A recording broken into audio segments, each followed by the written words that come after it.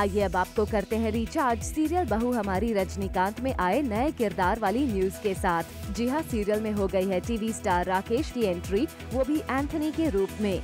आइए अब आपको दिखाते हैं राकेश की इस किरदार की एक खास झलक।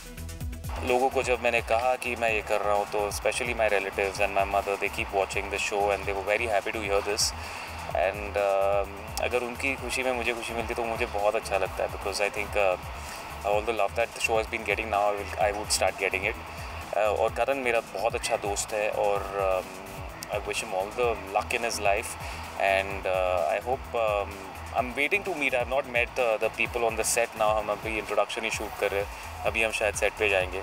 तो uh, पहली बार मैं सब के सब कैरेक्टर्स को मिलूँगा सब लोगों को मिलूँगा। रिद्धिमा से तो मैं मिल चुका हूँ ऑलरेडी